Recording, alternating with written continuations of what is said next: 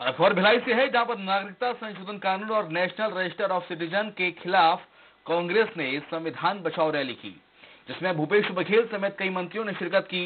साथ ही रैली में छात्र लोक कलाकार, ट्रेड यूनियन खिलाड़ी भी शामिल हुए। और इस मौके पर सीएम बघेल ने केंद्र सरकार पर झूठ बोलने का आरोप लगाया। उन्होंने कहा कि सीएए और एनआरसी से देश का भला होने वाला नहीं है। हर देशवासी को अपनी नागरिकता साबित करनी होगी, लेकिन देश के प्रधानमंत्री और गृहमंत्री झूठ बोलकर देश में आग लगा रहे हैं।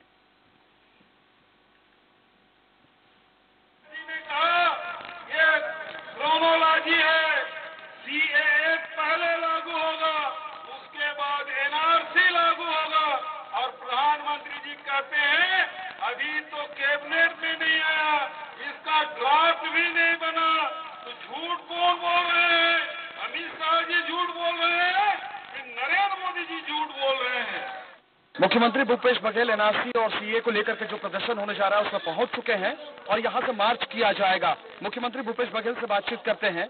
एनआरसी को लेकर के प्रधानमंत्री ने भाषण दिया था, जिसमें उन्होंने कहा था, एनआरसी लागू नहीं होगा।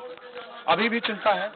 अब प्रधानमंत्री जी झूठ बोल रहे हैं कि गृह मंत्री जी झूठ बोल रहे हैं? क्योंकि गृह मंत्री जी स्पष्ट रूप से बोल चुके हैं कि ये क्रोनोलॉजी है, पहले सी लागू होगा, उसके बाद एनआरसी लागू होगा। तो वो बताएँ कि प्रधानमंत्री जी झूठ बोल रहे हैं। प्रधानमंत्री जो बोल रहे हैं वो सच है, कि गृह मंत्री जी बोल रहे हैं वो सच है। क्योंकि झारखंड के जितने चुनाव में सभाएँ हुई, उसमें गृह मंत्री जी ने एनआरसी लागू करने की बात कही है। पूरे सभा में उन्होंने एनआरसी की बात की, उसे घोषणा पत्र में एनआरसी है। तो सवाल इस बात का, सच कौन बोल रहा है? नरेंद्र मोदी जी बोल रहे हैं कि अमित शाह जी बोल रहे हैं? अच्छा एक और चीज़ कि आपने झारखंड का ज़िक्र किया लेकिन बड़ा सवाल ये है कि क्या ऐसा हो सकता है कि जो पूरे देश में प्रदर्शन हो रहे हैं, उसको देखते हुए भाजपा ने अपने रुख में बदलाव किया कि शायद अभी इसकी ज़रूरत नहीं है? उसको तो उनको स्पष्ट करना चाहिए कि रामलीला मैदान में उन्होंने जो बात कही है, और गृह मंत्री जी जो, चाहे वो लोकसभा या लोकसभा बाहर ऑन रिकॉर्ड जो बात कही है, और भारतीय जनता पार्टी घोषणा पत्र में जो बातें हैं, उसको स्पष्ट करना चाहिए कि वो कौन सी बात सही है? अच्छा एक और सवाल। झारखंड चुनाव में जो स्थितियाँ हैं आपकी पार्टी सरकार बनाने जा रही है और आपने खूब वहाँ पे जाकर के धान की चर्चा की राहुल गांधी ने धान की चर्चा की। छत्तीसगढ़ मॉडल को एक विकल्प के रूप में पेश किया। ये झारखंड में अब गठबंधन की सरकार बनने जा रही है और भारतीय जनता पार्टी के लोगों ने नकारा है। इसकी मुझे प्रसन्नता है।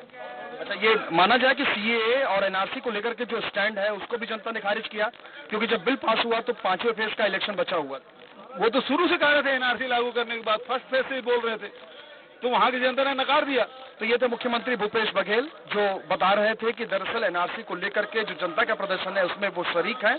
और उन्होंने प्रधानमंत्री नरेंद्र मोदी से सफ़ाई मांगी है कि जो बयान दिया है, उसको सही माना जाए, या जो तमाम रैलियों में अमित शाह कहते आए हैं एनआरसी को लेकर के, वो बात सही है। कैमरामैन श्याम के साथ भिलाई से रुपेश गुप्ता।